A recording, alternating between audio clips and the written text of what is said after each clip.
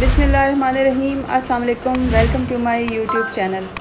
कैसे हैं जनाब आप? उम्मीद है ठीक ठाक होंगे। मेरी दुआ है कि अल्लाह पाक आपको ढेर सारी खुशियाँ और सेहतमंद ज़िंदगी अता फ़रमाए और मेरे लिए भी सेहतमंद ज़िंदगी की दुआ कीजिएगा।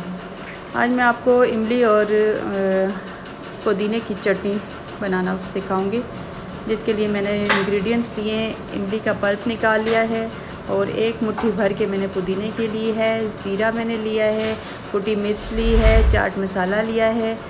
तीन से, तीन जगह मैंने लहसुन के लिए, तीन हरी मिर्च ली है, नमक लिया है और ये सब मैंने हाफ़ हाफ़ टी स्पून लिया है।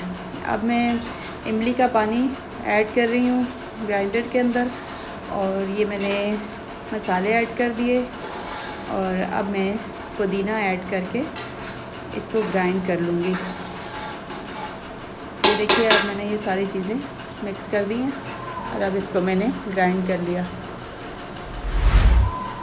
अगर थोड़ा थिकनेस है तो आप थोड़ा सा पानी इसमें और डाल दें और इसको ग्राइंड कर लें।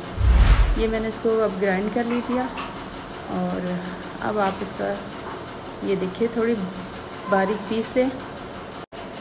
अगर आप चाहें तो इसके अंदर धनिया भी आप डाल सकते हैं, लेकिन मैंने आपको सिर्फ़ पुदीने और इमली की चटनी बनाना दिखानी थी।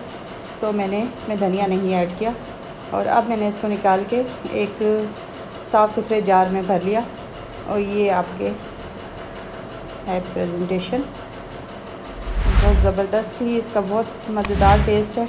आप ज़रूर बनाइएगा रमज़ान मुबारक में पकौड़ों के साथ, समोसे के साथ, रोल के साथ, बहुत ही मज़ेदार ये चटनी लगती है। अगर आप मेरे चैनल पे नए हैं तो मेरे चैनल को सब्सक्राइब करें, मेरी वीडियो अच्छी लगे तो लाइक करें, शेयर करें अच्छे अच्छे कमेंट्स करें। Thank you Allah